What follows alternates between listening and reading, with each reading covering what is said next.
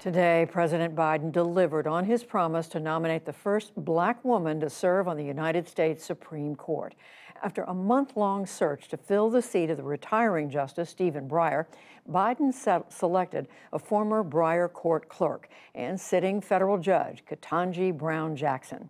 Biden and Jackson celebrated this highly anticipated and historic announcement at the White House. Today, I'm pleased to nominate Judge Jackson will bring extraordinary qualifications, deep experience and intellect, and a rigorous judicial record to the court. Judge Jackson deserves to be confirmed as the next Justice of the Supreme Court. If I am fortunate enough to be confirmed as the next Associate Justice of the Supreme Court of the United States, I can only hope that my life and career, my love of this country and the Constitution, and my commitment to upholding the rule of law and the sacred principles upon which this great nation was founded will inspire future generations of Americans. President Biden called Judge Jackson last night to extend the offer, a nomination that has been decades in the making for the federal appellate judge. Geoff Bennett reports on how she got to this place. I'm even handedly applying the law in every case. Ketanji Brown Jackson has a resume seemingly tailor fit for the moment. Harvard grad, Supreme Court clerk, and a federal judge with a deep history in public service. There was a direct line from my, my defender service to what I do on the bench. DC born and Miami raised, Jackson stood out early, excelling in high school as class president and on the debate team. Even then, her goal was clear She's quoted in her senior yearbook saying, I want to go into law and eventually have a judicial appointment. Her teenage years were key to achieving that, as she put it in 2017. It was my high school experience as a competitive speaker that taught me how to lean in despite the obstacles. With honors degrees from Harvard and Harvard Law, Jackson scored three federal clerkships, including one under the justice she may now replace. Justice Breyer plucked me from obscurity and gave me the opportunity of a lifetime. And I will say she is adored among the Breyer clerk family. She made a lasting impression, said fellow Breyer clerk and former acting U.S. Solicitor General Neal Katyal.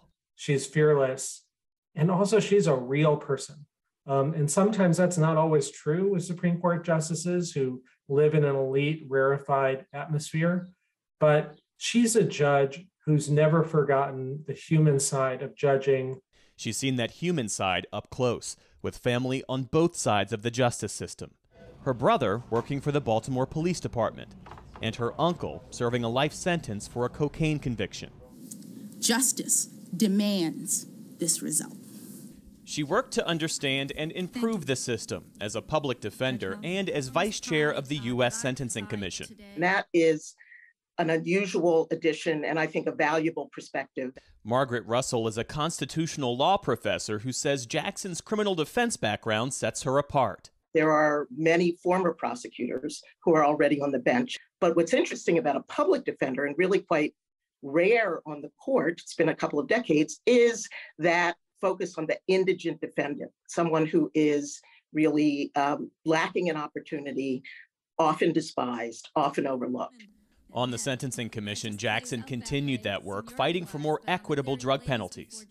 There is no federal sentencing provision that is more closely identified with unwarranted disparity and perceived systemic unfairness than the 100 to 1 crack powder penalty distinction. That was the first of three Senate confirmations for Jackson. In 2012, she was nominated to the federal bench in Washington, D.C introduced by then Congressman Paul Ryan, who's related to Jackson by marriage. But my praise for Ketanji's intellect, for her character, for her integrity, it's unequivocal. She's an amazing person. She earned a reputation on the district court for being thorough and methodical you can tell she has that speech and debate background because she likes to uh, engage with the parties. Sanchi Khare and Neha Sabharwal clerked for Jackson and say they were struck by her work ethic.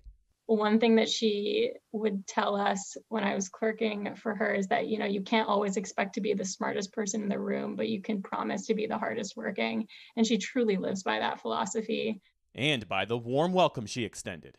Um, and she came out of her office, huge smile, gave me a huge hug, um, and told me how excited she was that I would be working for her. Um, and that sort of set the tone for the rest of my clerkship experience. A memory that I had of, that I still have of her is this relay race in which several DC Circuit and DDC chambers participated. And at the judge's suggestion, we made matching t-shirts and set up a training schedule and lined up everyone in chambers to participate because she just has so much spirit for everything that she does and her diligence is really contagious. It was there on the district court that Jackson sentenced more than 100 people and penned some of her best known opinions.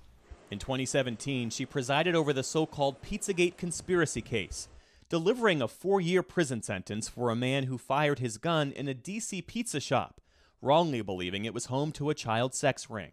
And in 2019, she ordered that former Trump White House counsel Don McGahn comply with a congressional subpoena during the Russia investigation. Citing against the Trump administration, she plainly wrote, Presidents are not kings. One thing is clear the 120 page ruling had a purpose. It came up at her third Senate appearance, this one for the D.C. Court of Appeals, seen as a tryout for a Supreme Court hearing. I am both humbled and very grateful to be here once again. Republicans took aim at Jackson's public defender clients. Have you ever represented a terrorist at Guantanamo Bay? Uh, about 16 years ago, when I was a federal public defender and her identity. What role does race play, Judge Jackson, in the kind of judge that you have been and the kind of judge you will be? I don't think that race plays a role in the kind of judge that I have been and that I would be. Behind her at those hearings, her husband, Dr. Patrick Jackson, and one of their two daughters. The pair met in college and were, as she says, an unlikely match at first. He and his twin brother are, in fact, sixth generation Harvard. By contrast, I am only the second generation in my family to go to any college, and I'm fairly certain that if you traced my family back past my grandparents, who were raised in Georgia, by the way, you would find that my ancestors were slaves on both sides. The yeas are 53, the nays are 44. The nomination is confirmed. She was ultimately confirmed with 53 votes, all 50 Democrats, plus Republican senators Susan Collins, Lisa Murkowski, and Lindsey Graham. That put Jackson, now 51 years old, in the seat formerly held by another Supreme Court hopeful. Today I am nominating Chief Judge Merrick Brian Garland to join the Supreme Court. Before then President Obama made that decision in 2016, Jackson's 11 year old daughter wrote in with her own suggestion. Dear Mr. President, while you are considering judges to fill Justice Scalia's seat on the Supreme Court, I would like to add my mother, Ketanji Brown Jackson of the District Court, to the list. Her opinions are always carefully Six years reasoned, later, it's President Biden honoring that request. For the PBS NewsHour, I'm Geoff Bennett.